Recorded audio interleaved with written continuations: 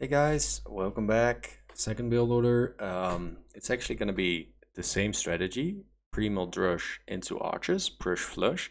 This time it's with Britons because um, it's a very specific build order, which is something you can only do with Britons. The, the higher elo you get, you get, the more you learn like a specific build order for a specific civ. And this one is for Britons. It's the prush flush, the pre-mill drush into archers with the crossbow follow-up. Um, advanced build order, quite interesting, but once you manage, it's very, very strong. So let's rock and roll. 21 pop after doing a pre-mill drush is the goal. Error message right there. Alrighty, so first off, I use my scout and two sheep to scout.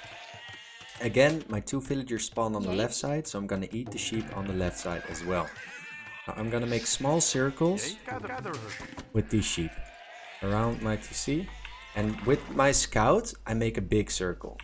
So this sheep is actually gonna scout what my what my what my scout calf didn't scout. New sheep I find if I spot them early enough. I will scout with those.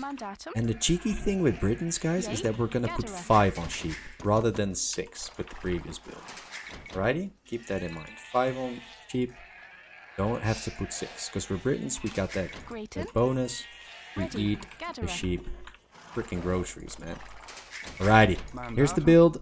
Make the lumber camp. Could also gone for the bottom lumber camp, but because we're Britons, we're going to wood a little bit quicker than you normally would, right? We're already going for wood with the with the sixth villager. Normally that sixth villager would still go on sheep. So we don't have to uh, pull villagers to the wood line a little bit sooner. It's still all about efficiency though. So we're gonna try and get our woodcutters as efficient as we can get while we scout, find all the goodies. Or, or, well, rhino and elephant in this case. Uh, so we, we already found all, all we need to know. So we're gonna scout our opponent quite early on. Um, we have four on wood, and look at this guys. I don't want to open up another sheep. I'm actually gonna pull a villager out already to grab the boar. Now if you look at this, it's got about 75 food still. You'd say, oh this is too soon, but look how quick I eat this sheep. Okay? Look how quick the sheep is vanishing. So I would, this is almost late. This is almost late. A late boar. We're gonna eat. An elephant, not a boar. Right on. So, four on wood. We've got um, seven there. Alright, the next villager is uh, gonna make a house. Gazelles were housed. Gonna find our opponent. And the new villagers go to the boar. So again, people, it's something very similar than the previous uh, build order we did. The Prush Flush with Magyars without any eco bonuses. Uh, the difference here is um, we have a little bit of a Civ bonus. So that bonus is gonna help us do a 21 pop Prush Flush. The hell is the scout doing? Get off my back. I don't wanna fight. I'm doing a build order. Obviously, it makes things more realistic, right? In a in a real game, the scout might be chasing me, like it's doing right now. Are we gonna win this? Is the AI gonna beat the crap out of me? Yay, yay. Equilin. Grayton. Yes. Equilin. Correct. Yay. Correct. Yes. Hunter. Righty. Yay. Ready. Hunter. Mandatum. Ready, righty, righty, righty. Okay, guys. Crucial with the build order is to get four on on berries quite soon. Now I'm only sending three. Why am I sending three? Because there's already a dude here. You see? So now it's gonna be four. I'm gonna make sure I put two of them on each side. Maximum efficiency. And we need to be getting the 10 gold. While we make our militias. So that's militia number three. We're making vills and militia. We've got four on wood, four on berries, collecting the 10 gold. We're already preparing for the boar to run out. Okay? So we're already putting the sheep on, on either side. It's all about efficiency. Putting those there, putting those there. We need a house. Don't forget to make the house. Usually we put choose a wood villager. This guy is gonna make the farm, like we said, 21 pop. So this is gonna be scary. We need we need a lot of food. We need a lot of food, guys. Can we manage? Can we manage? This is without pushing a single deer as well. Keep that in mind. No deer pushed whatsoever, so you can do this all the time if you're Britons. These are the standard resources. We did the pre-mill drush. Now in a real game, obviously you'd be you'd be playing around with those. Now let's see guys, looking at the resources. It's quite tense, but look at that. Beautiful, beautiful. What the hell is this guy doing? Righty. So now, once we're up, we're gonna think of the follow-up. Let's not send the week. Bill. We need four, uh, sorry, five villagers on each lumber camp. There's four there, so there needs to be a number five. And we need three on gold. Ready, Mandatum. Ready. Gatherer. Ready. Mandatum. Yay. Yay. Mandatum. Alrighty, and you guys will eat the straggler once you're done with the sheep. Grayton, Bulden. Alrighty, so this is beautiful. This is exactly where we should be. We've got 10 on wood, we're eating the straggler, our, our push is doing damage. Obviously, I haven't been paying attention to the scouting. Um, in the normal game, I would be. So the crucial thing here um, is a range. So we want to get archers, but we also want to get a quick uptime. Let's say we did damage with a push. I'm gonna send two villagers out. They're both weak, which is not smart. So let's just take these. We've got plenty of food. I can I can spare them. The dude is just making me nervous. This. Alrighty, range, double bit axe, and farms. Early farms is what we need. As early as we can make them. Very early farms, guys. Let's not fucking lose these. Got the range. Gonna make a house. And again, every 60 wood you're getting is a farm. So the only thing we're gonna be making, we're doing damage with a push, and the archers are gonna go and support the push as well. Now, one thing you have to keep in mind is that a push does something similar as men-at-arms do, is they'll force your opponent to make resource walls. If you don't know what a resource wall is, a resource wall is where you make walls around your resources rather than a base wall around your whole base. Right? Makes sense? I hope so. Um, but the archers will be able to reach over those walls. Um, making you able to do good damage. Yay, Bulden. As you can see guys, I'm producing fields, archers, and every 60 wood I'm getting is a farm.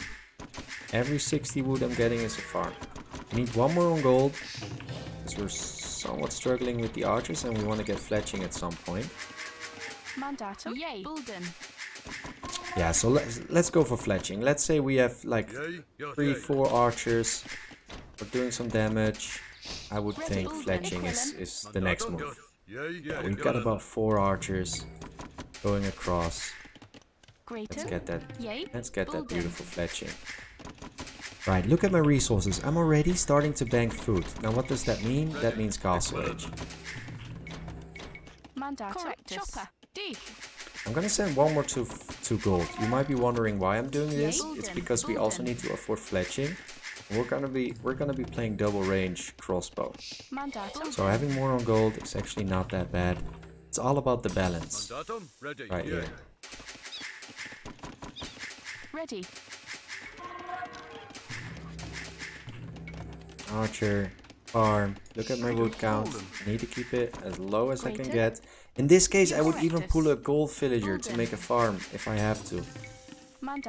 Because having farms, keeping the farm number as low as we can get makes us go up as quick as possible.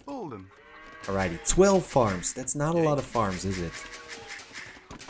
It's not a lot of farms and it could actually be enough for us to go up. The trick is to go up with the least amount of farms.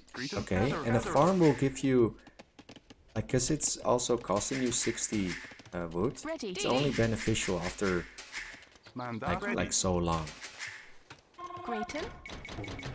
This is also where You could like drop a second range if you want to be a little bit more aggressive and feudal and still get a competitive uptime. Cretan, yay, ditch, ditch. We're not gonna do wheelbarrow. We could even collect, Ready. Chopper. do it like this, collect some, because we're, we're okay on wood. Chopper. For now, we're gonna collect that deer, speed up our uptime. We have 8 on gold, enough. We're gonna have double range. We're gonna be... This is, this is like obviously it's it's build order practice, but this has been gorgeous, absolutely gorgeous. We've been doing a pre-mill drush, hitting him very early, um, and then with an archer follow-up, and now we're just building up the numbers, building up the numbers. Ready. Actually, gonna end up having nine on gold. This is villager number 10. We're a little bit low on the gold, but the food count is almost there. As soon as these arrive, should have enough food to click up. I'm gonna idle my ranges just a second. Now normally I hate idling my ranges. I want to keep them working all game. But I also want to hit Castle Age at a gorgeous time and that's what we're getting here. For now everything is about keeping those ranges working. We're going up to Castle Age. We're 17 minutes in game. We did a pre-mill drush. We're gonna get all our eco bonuses now. Look at the resources guys. We've got nothing of anything. That's what I like to see. Everything is put on the field. We've got the crossbow, we've got fletching. This is also where you think about maybe the armor even. This is also, people, the moment where you have to... This all depends on the game. This is a little bit of a thing you'll learn over time. But this is where you make the decisions. Do I need ballistics? Do I need TCs? Do I need a siege workshop? Is my opponent going knights? Uh, what do I do? And th this is the moment you figure that out. We're 50 minutes up to castle. Um, depending on the damage I did, depending on if he's walled or not, depending on so many factors, is where you decide what to do. Ready. Now, some players like to go for TC drops, some players like to go for a quick ballistics, and it's difficult to say. There's no standard. You'll, you'll have to learn that by feel. You can learn the build order like we just did by heart, but this is that moment where, you know, you have to... You, you have to feel how the game is progressing. To know what to do. For Britons, we get cheap TCs. Let's uh, let's drop one. Yay. Let's see if we can get all the techs we need. Bam. All the techs. Crossbow. Uh, Bodkin. Wood upgrade. Ready. Plenty of numbers. Pre 20 minute castle age. That's what we need. Let's check the times. Resign. It was 20 minutes and 1 second, okay? But the feudal time was really quick. 21 pop after a pre-mill drush. Beautiful build order. Try it out.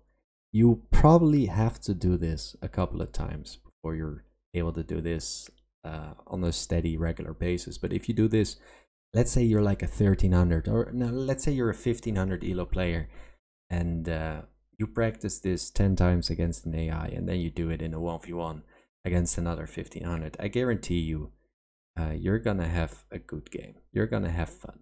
Now the second thing is um, the second reason why i would encourage you to try this is because it's very micro intensive early on. You have to micro that push really early on in the game. It's not your standard dark age where it's just you know really chill it's it's aggression, it's micro intensive, and you're gonna be running a lot of militias under your opponent TC. But you learn from that. You learn a shit ton from that. So enjoy guys. Have fun.